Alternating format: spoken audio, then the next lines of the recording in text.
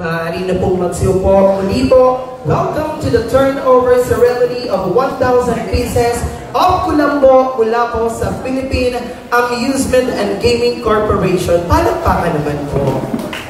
At sa mga pagkakataon po nito upang magbigay po ng kanyang mensahe, tawagin po natin ang Manila Department of Social Welfare Chief, Honorable Re Pugoso.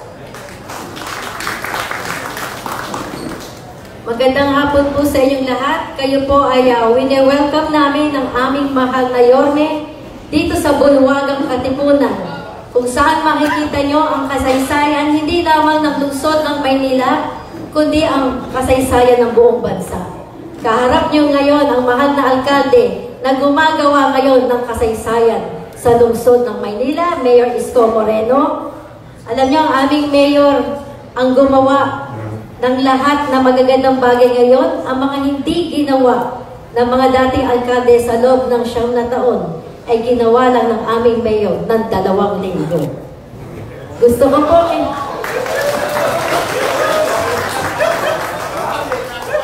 Hindi po sip-sip yan, nakikita niyo naman yan.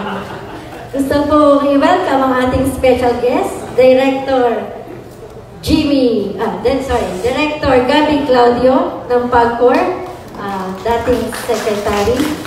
Okay, ang ating pong ah, isa pang special guest, Mr. Jimmy Bondo, Vice President ng Corporate Social Responsibility ng PAGCOR. Okay, na-miss po natin na si Chairwoman Andrea Domingo. Si Chairwoman Andrea Domingo ay ah, nakasabay po ng aking father sa House of Representatives.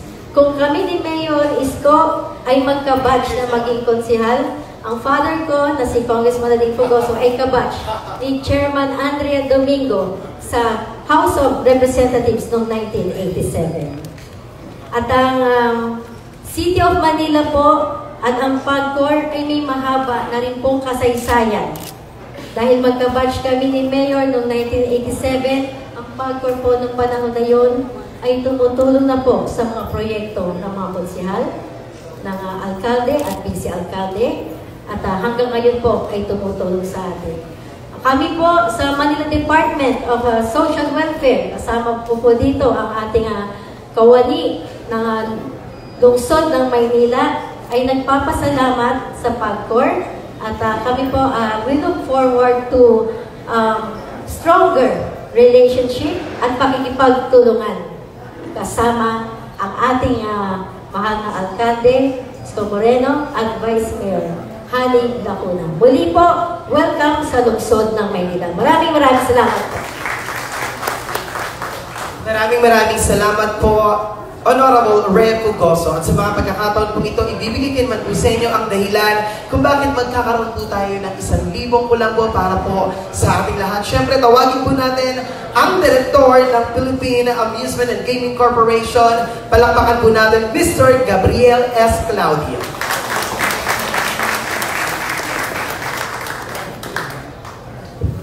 Magandang hapon po sa inyong lahat. Uh, Mayor Isko, uh, Ka Jimmy, Dwayne, mga kasama natin sa PAGCOR, uh, former Councilor and Secretary Fugoso, sa inyong lahat, magandang hapon po sa inyong lahat.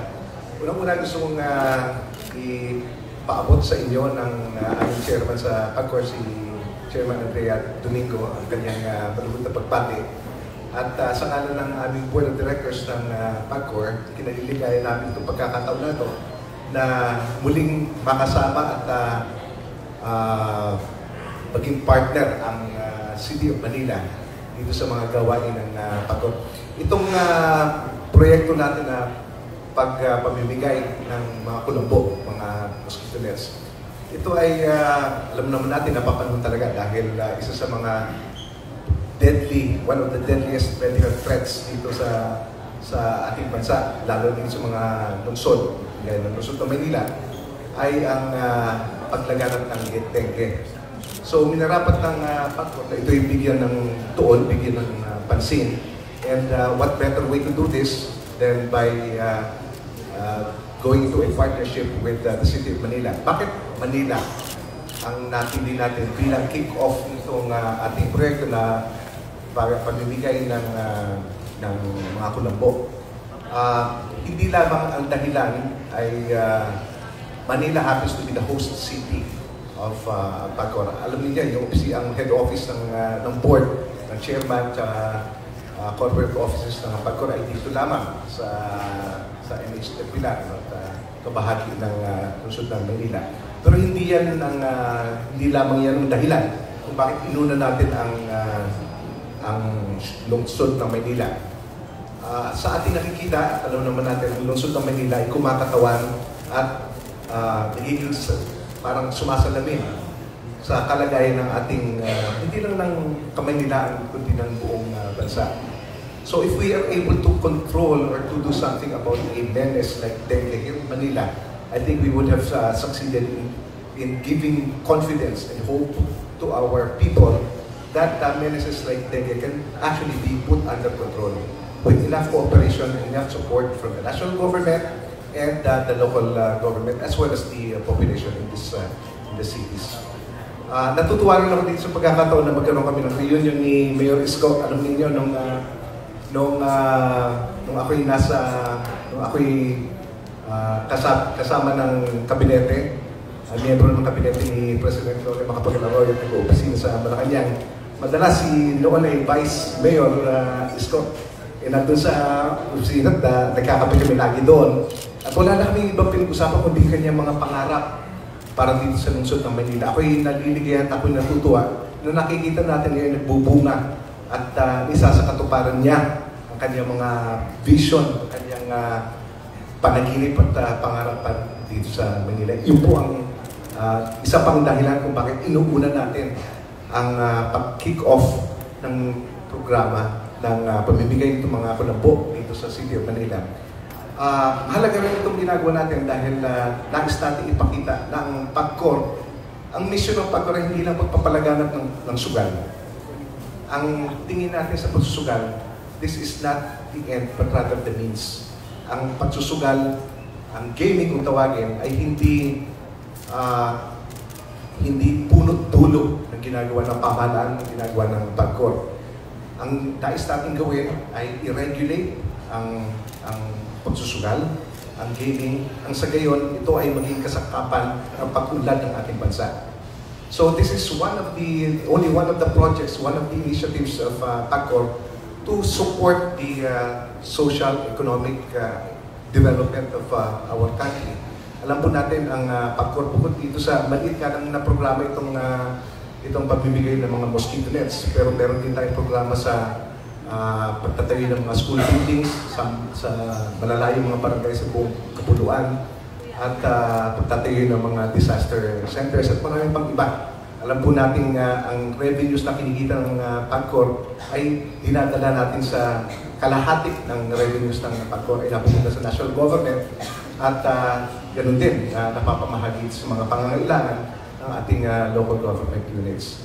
So, uh, Nagpapasalamat tayo sa sa ating mahal na at napakagandang lalaking eh, mayor sa pagkakataong ito at uh, natutuwa tayo na tayo uh, magkakaroon ng ganitong uh, pagsasama at partnership. Asahan po ninyo, ito hindi magiging kahuli-hulihan.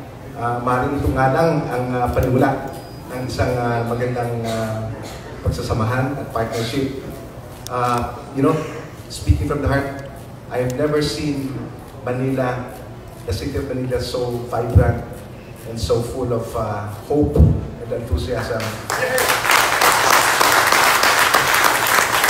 Dahil sa pamumuno ni, uh, uh, ni Mayor Isko, uh, Isko Moreno. So, uh, maraming salamat po sa inyo and uh, kagaya ng uh, ang pamimigay natin ng, uh, ng lambat, ito ay hinahalin tulad natin sa mission siguro ng pagkor. Kung ang mga lamok ay hindi natin masupin, i-regulate natin sa, sa pamamagitan ng mga uh, mosquito nets. Sa pagkor naman, hindi lang natin mapipigilan ang uh, pagsusugal dahil talagang wala nang uh, since time immemorial, talagang dyan na yung pagsusugal, i-regulate natin, gamitin natin ito para Ah, uh, mapanaganap natin ang kaban ng ating uh, bayan at matustusan natin, mabigyan natin ng pondo ang mga karapat-dapat ng mga programa ng ating pamahalaan para sa kabubuti ng ating mga bayan. Maraming salamat po! Maraming maraming salamat po our PADCOR Director, Mr. Gabriel S. Claudio. At sa mga pagkakataon po ito, ibibigay ko naman po sa inyo ang ama ng lungsod ng Maynila, Honorable Francisco Isko Moreno Tomagoso. Thank you. Uh, maraming salamat mga upong po kayo sa ating pong uh, minamahal na sekretaryo ng bansa. Matagal ho ito naglingkod sa ating bansa. Dalawang uh, presidente po ang pinaglingkuran nito. Uh, ngayon eh, sa totoo niya, uh, bago itong administrasyon na ito, talagang uh, siya naman nag-ano na, nag-private na to, nagpahinga na. Pero dala ng angkin niyang kagalingan, uh, si Pangulong Duterte, uh, pinakisuyuan siya. Kahit na uh, ayaw niya na talagang bumalik sa kabinete, pero pinakikisuyuan siya na pwede maging bahagi pa rin, at least man lamang sa GOCC uh, bilang uh, direktor ng PAGCOR. Ang ating pong kaibigan, uh, si Secretary Claudio. Yan po. Maraming maraming salamat. Sa ating pong uh, uh, kasama, uh, James Patrick uh, Bundok, uh, maraming maraming salamat po. At kay Miss uh, Twinkle Valdez, ang uh, ABP, na uh, parang parang may, may James Pat sa'yo ah. uh, eh, siya po ay uh, bahagi rin ng, uh, uh, uh, isang industriya na kung saan nagbibigay ng impormasyon sa ating mamamayan. Uh, napakahalagang industriya na uh, kinabibilangan dati ni Ms. Uh, Twinkle Valdez. Uh, ngayon ay bahagi na rin siya ng pamalaan through uh, GOCC. So sa inyo po mga kasapi ng uh, PAGCOR, mga kawani ng PAGCOR, mga other officials, kay Secretary Domingo, uh, maraming uh, uh, kay Chairman, no? uh, maraming maraming salamat sa inyo. At eh, bagay lamang, uh, swerte nga namin, uh, buti talaga kapitolyo kami ng bansa. Kaya kung may iisipin ng national government, huwag kayong mag-alala, pwede nyo kami maging practice range. Uh, dito nyo laging subukan, dito nyo laging unahin. Alam po ninyo, uh, hindi kaila sa inyo, ang Maynila ay binubuo, ay pinaghihiwa-hiwalay ng tubig. At dalawang uri ng tubig ang naghihiwa-hiwalay sa Maynila. Uh, kami po ay napapagitnaan ng isang malaking ilog. Kung tawagin ay ilog Pasig, kung saan doon nakuha ang pangalan ng syudad ng ating lungsod sapagkat sa isang uh, halaman o bulaklak na tinatawag ng nilad. Oh, kaya nung araw, sabi lang, may nilad. Oh, at bago dyan, perpendicular uh, uh, to Pasig River, kami binubuo ng creeks. At sa west side, oh, uh, sa Kanluran, no? west side is Kanluran, no? Oh, tama naman. O eh, ito naman o ay uh, uh, meron kami tinatawag na dagat.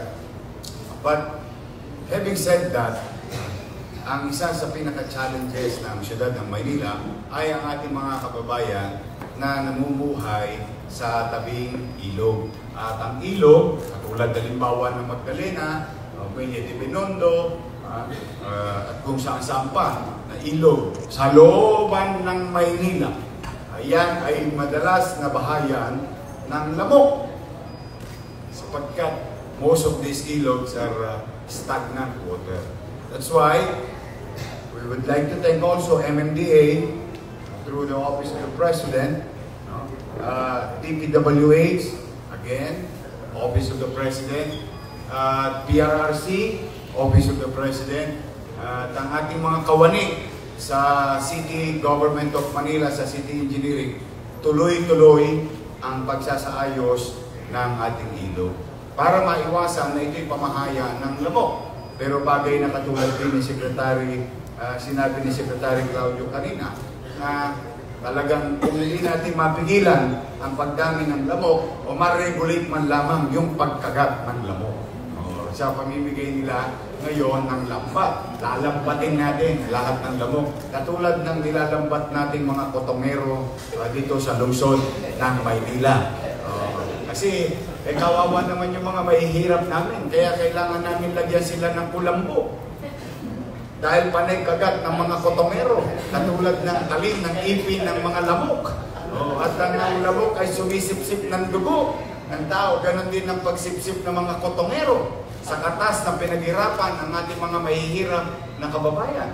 Kaya bagay na bagay itong ginawa ng pagkor sa amin, napapanahon sa lungsod ng Maynila, mga kababayan. Ah, JTV. Sego Sel JTV. Oh. Ah, Segway, naka-segway. Kaya ayaw pinaglahalayo. Dito lang kayo sa beta-beta. Hinding-hindi kayo mawawalan. Hindi kayo magkakaroon. Kaya po, but kidding aside, uh, while it is true I'm talking about metaphor, but uh, there are some uh, reality in that statement. Kaya, ang sakit ng dengue ay seryoso usapan. Sapagkat yan ay uh, napatunayan na na kapag ka yan ay hindi naagapan ang paglaganap mga ganyang uri ng lamok, ay uh, ito'y makakapamerwisyo sa ating pamayanan at lalo na sa kalusugan ng lahat ng uri ng tao. Dahil ang lamok hindi nakakaamoy ng mahirap, middle class o mayaman. Lahat pwedeng magkasakit ng dengue. Kami naman no, sa pamumuno ni uh, Manila Health Department ni Dr. Fox Pangan at sampu ng aming mga kawani sa Manila Health Department in our own little way, pinapalaganap namin. In fact, uh, our friends from media the other day saw the new machine uh, last Monday uh, during our flag ceremony. Uh, nag-acquire ang uh, siyudad ng Maynila. Uh, isa rin kaparaanan katulad ng ginagawa ng PAGCOR ngayon na maiwasan ang magkakasakit ang dengue. So muli sa inyo, sa PAGCOR, uh, in behalf, on behalf of the people of Manila, uh, Secretary Claudio, uh, uh, Vice President Bondok, at uh, ABP uh, uh, for Communication Twinkle Valdez, at sampo ng inyong mga opisyales at kasamahan. Kami po ay palugod at taus-pusong nagpapasalamat sa tulong ninyo. Dagdagan niyo pa. Nahulog na. Opo, para rin itama natin at uh, mailagay din sa tamang aspeto o perspektibo, ang pagpuro ay isa sa pinakamalaking GOCC ng ating Office of the President na tumutulong sa mga ospital ng lungsod ng Maynila. Paano parang? Sila po ay nagbibigay, nag-aambag sa lungsod ng Maynila, sa kaban ng lungsod ng Maynila, na sa lapi buwan-buwan na siya naman katulad nung napabalita sa inyo noong nakaraang buwan that we appropriated additional 9 million pesos para sa mga gamot sa anim na ospital ng Maynila. Yun, naalala niyo, nag-random check ako, biglang alas dos ng madaling araw, may nakuha yung senior citizen na gamot. Yun ay mga salaping galing sa pagpor. Kaya palakpakan natin ang pagpor. Baka man yan, maisip ng ating mga viewers, eh, eh bakit eh, kulang-kulang? Di po. Gusto ko lang malaman ninyo, ito'y karagdagan. Oo. At uh, ang ikinabubuti lang mo nito at ang ikabubuti nito ay hindi lang mo ito gagawin ng Pangulo ng Bansa dito sa lungsod ng Maynila. Kaya to the, the Office of the President, President Rodrigo Roa Duterte, maraming maraming salamat po sa pagmamalasakit ninyo sa aming mga kababayan. Mano pa yung mga kababayan nating mga mahihirap na naninirahan sa mga lugar na challenging communities. No? At eh, bagay naman, if I may share to you, I don't know if I'm right, uh, like what President Magsaysay said, uh, those who have less in life must have more in law.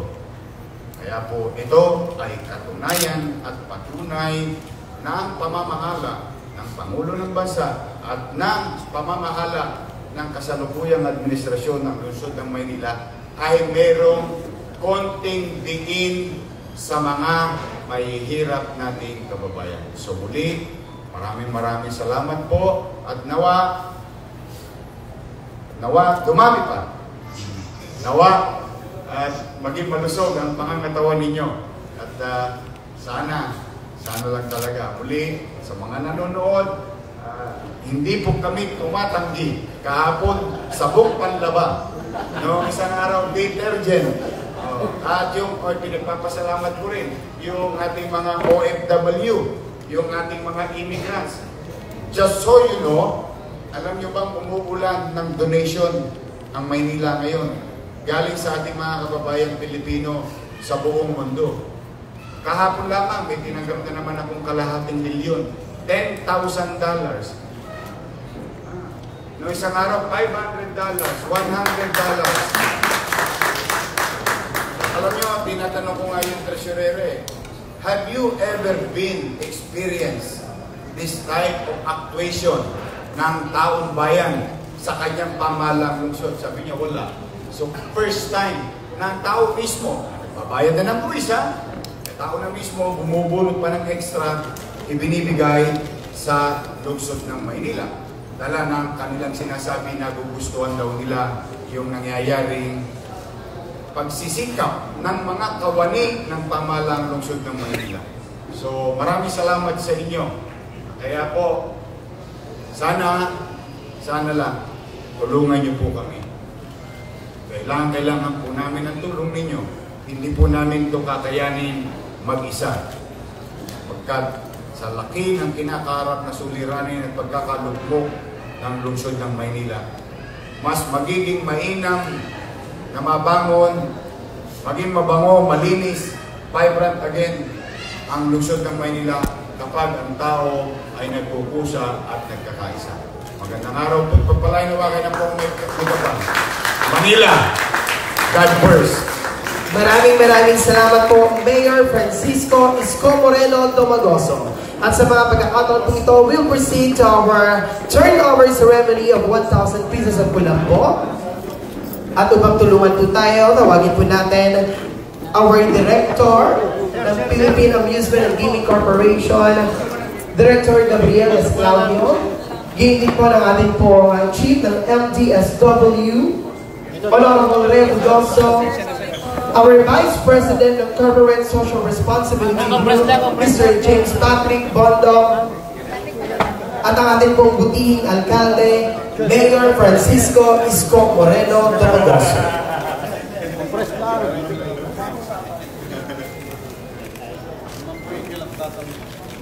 Bye. Hindi sila kasya. Sorry. Sorry. Muli po, palakpakan po natin ang Philippine Amusement and Gaming Corporation. Ngayon po ang ating pong alkalde, Mayor Francisco Isko Moreno Domagoso.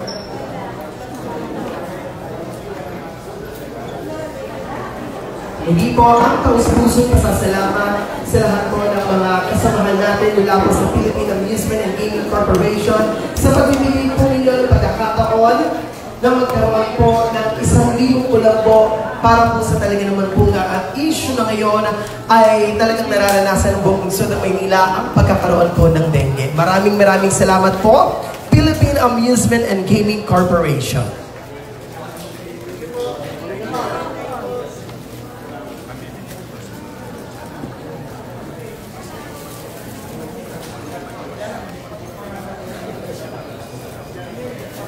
At dyan po nagtatapos ang ating pong programa. Muli po, palakpakan naman po natin ang Philippine Amusement and Gaming Corporation.